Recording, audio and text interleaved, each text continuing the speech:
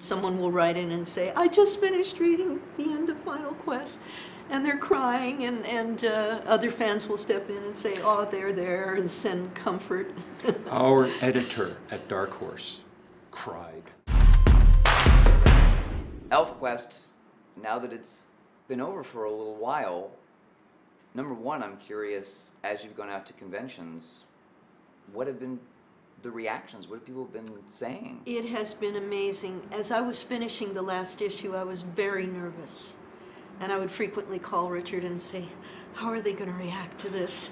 I'm, am I pulling this off? Am I staging this correctly? You know, is everything okay? And he would constantly, he had the patience of a saint with me, constantly soothing me.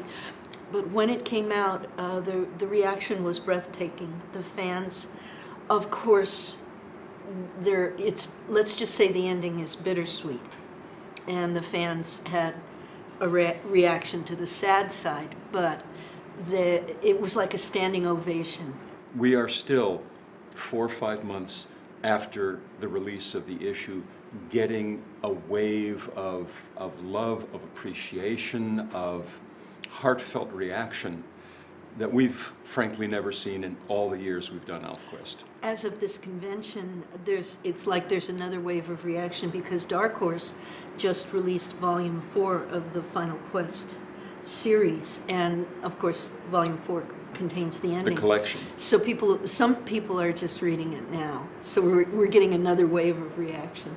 So do people cry? Do you just have like Kleenex at the table to give people We- hugs and comfort? We advised them to have Kleenex ready. Yeah. But, uh, but they're taking care of each other. We, we follow the threads online on the ElfQuest fan page.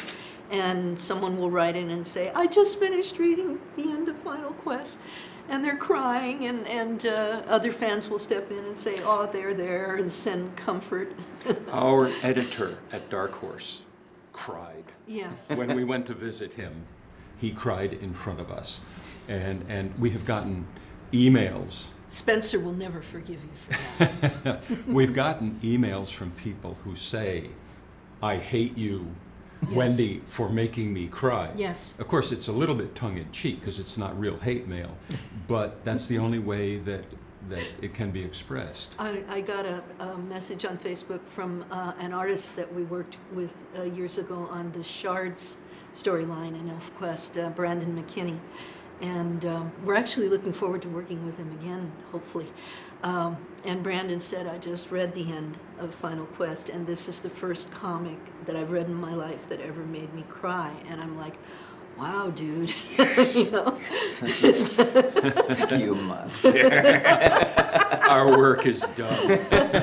but but I guess the question is, is it because I mean, Dark Horse got a hold of it. You've been working with them for a little while, and they've been re-releasing things. But I I mean, ElfQuest is ostensibly one of the most important, groundbreaking independent comics ever made. Uh, are they saying so? What's next, gang? Well, all right, I'm going to leave. You're, you're, he's dead. Very much. They, even a year before Final Quest wrapped up, they were throwing hints out at us and said, well, we're going to wrap up in a year. Um, you got anything else? And of course, the answer is yes, because fans would say, Final Quest, final, that's a very, very scary word.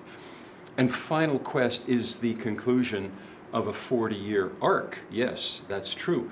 But there are still stories left to be told. There are characters in Final Quest who survive the end of the story.